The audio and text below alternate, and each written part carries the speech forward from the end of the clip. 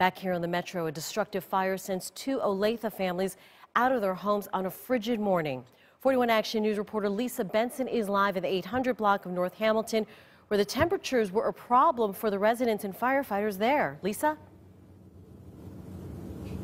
That's right. Right now, we're live again in Olathe. You can take a look at the uh, duplex and see one side is now boarded up, and right now the family is moving out of the other side. The residents and firefighters stood out here for hours this morning, both trying to stay warm while looking for answers.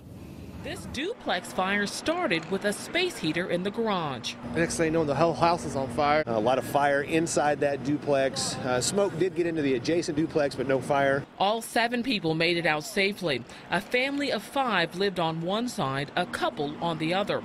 The homes were deemed uninhabitable as fire crews battled the fire and the dangerously cold temperatures. I feel sorry for them. It's cold outside. Our bodies just can't work as long in it, as hard as we work. Uh, so we work on rehabilitation, so making sure that everybody's okay. We cycle them through to make sure everybody's got enough fluids, they're feeling okay, their, their vital signs are all right. Despite the fire and water resistant turnout gear worn by firefighters, below freezing temperatures can easily create a trip hazard. There's a lot of ice out here. It's very slick in some areas with all this water, and we just try to watch after ourselves. And we actually did some uh, training in regard to working in the cold weather this week. The Olathe Fire Department is seeing a steady increase in call volumes.